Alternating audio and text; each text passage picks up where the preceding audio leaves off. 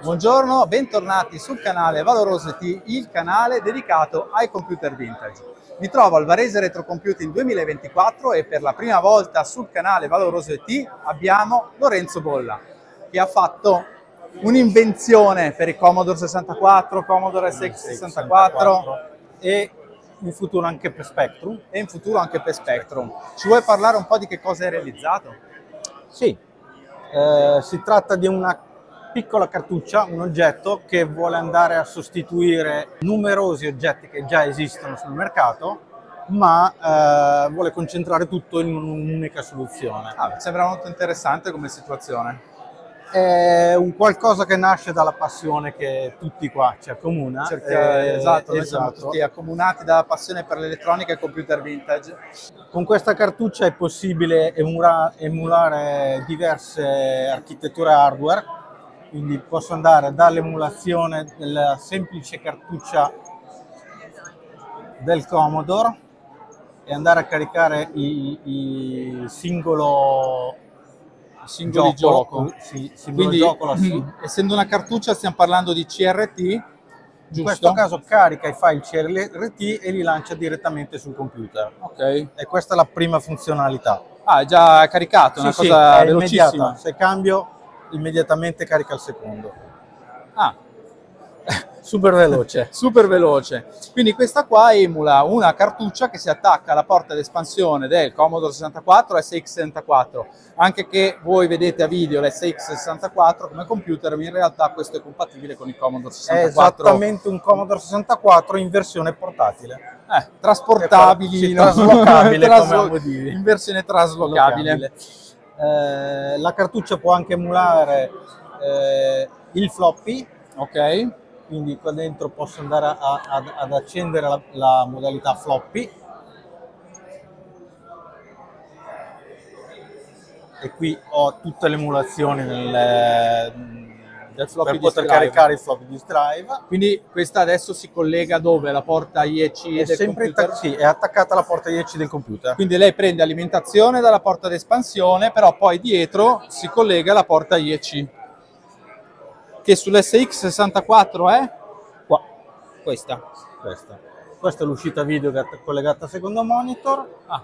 e questa è la, è la porta parallela eh, sì, la e seriale alla user port che viene usata per l'emulazione modem. Ok, perché esatto, la tua interfaccia fa anche modem. Sì. Allora, vediamo un secondo, ritorniamo qua davanti. I due monitor fanno la stessa cosa, giusto? La stessa cosa, questo è solo per vedere un po' più in grande. Ok. Ma è come si lavorava anche ai tempi, perché in modalità portatile utilizzavi il suo monitor piccolo, ma dovevi avere anche la vista sì, molto buona. Esatto, Poi collegavi il monitor più grande. Monitor esterno. Esatto. Allora, 664 è veramente un bel computer. Io ne ho uno in collezione però eh, senza tastiera. Anzi, ne approfitto per chi di voi che sta guardando questo video ha una tastiera che mi vuole vendere, si faccia avanti a prezzi umani possibilmente. Questa è un'altra applicazione della stessa cartuccia okay. che in realtà sta funzionando in modalità stand-alone. Ok, e questa qui è collegata quindi a questo questa monitor? è collegata a questo monitor e in questo momento viene eh, emulato in hardware il gioco arcade del Pac-Man.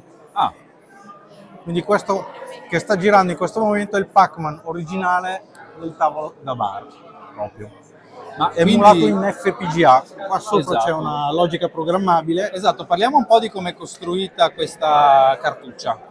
Questa cartuccia ha al suo interno una grossa FPGA, logica programmabile, all'interno della quale è possibile ehm, emulare eh, praticamente di tutto, qualsiasi cosa, solo questione di fantasia. Il progetto è messo open source, okay. quindi ci sono disponibili gli schemi elettrici, a breve metterò anche dei template. Per chiunque voglia eh, contribuire ad allargare il parco di software e di possibilità hardware, è ben libero di farlo. È ben libero di farlo. Il sito internet, eh, dopo lo mettiamo in descrizione. Dopo lo mettiamo in descrizione, sì. okay quindi controllate in descrizione perché metterò il sito internet dove ci saranno dentro gli schemi, giusto? Schemi elettrici e a breve anche un template di base dal quale partire per agevolare chi non l'ha mai presa in mano ed è la prima volta che deve scriverci Esatto. sopra. software. Invece, per quanto riguarda le funzionalità, quando la si utilizza collegata al computer, vedo che ci sono una serie di,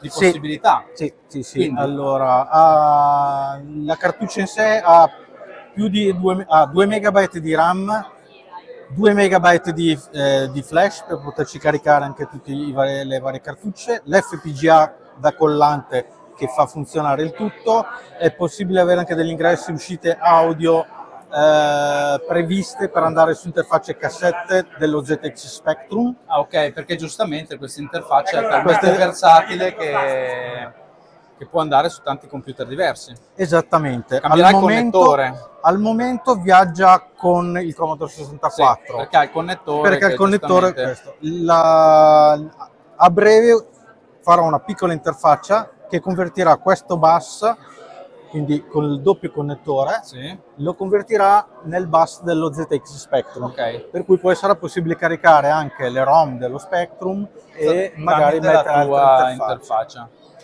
Questo è il punto di partenza eh, e piano piano svilupperemo. Eh, ma tu hai già sviluppato parecchio del software perché il lettore delle cartucce già ce l'hai. Sì, c'è il lettore delle cartucce, eh, c'è il- l'emulatore del floppy, c'è la seriale standard per chi deve lavorare con eh, i modem o con le BBS, quindi quella standard del Commodore, la seriale veloce 9006 e la seriale esterna che, andava- che va fino a 38004, queste sono già tutte emulate Ok. al momento.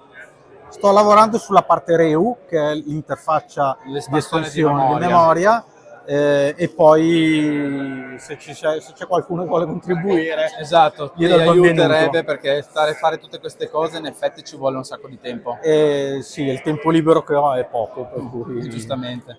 Ma tornando alla modalità standalone, quindi da qui alla VGA c'è un chip, cos'è che No, ci sono no. semplicemente i fili. Ah, cioè quindi proprio- all'interno, eh beh giustamente con un FPGA, come fai a notare, potresti puoi anche emulare tutti i segnali della, della VGA. Vengono emu- eh, emulati i segnali della VGA, i fili che normalmente sarebbero collegati al bus del Commodore 64 sono stati riassegnati come funzionalità per andare sul, eh, sull'uscita VGA e da lì vado al, Al monitor. monitor. Spettacolo. In questo momento ho caricato l'applicativo per eh, usare il modem integrato, l'emulazione modem fatta Z-modem, fatta in wifi e con quello mi sto collegando alla BBS Retro Campus, Di cui abbiamo qui. La BBS di Francesco Splendorio. Esatto. Allora, quindi all'in- al momento la tua interfaccia sta facendo sia da drive, giusto? Sta facendo da drive Con cui hai caricato Da- CCGMS, che poi è il programma che serve per navigare all'interno delle BBS. esatto, E in più sta facendo anche da modem. sta facendo da modem e ho l'applicativo che sta girando. A questo punto possiamo anche navigare nel mio sito, perché sono linkato alla BBS di Retro Campus io. Eh, valoroso.it uh. e questo è l'elenco degli ultimi articoli, tra cui anche quello sul Varese Retro Computing inquadrare di là, 2024. ma si legge di E qua c'è il monitor più grande in effetti.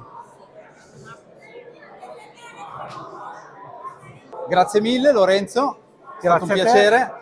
Mi raccomando, iscrivetevi al canale, attivate la campanella delle notifiche e guardate anche gli altri video relativi alle interviste del Varese Retro Computing 2024. Ciao! Ciao!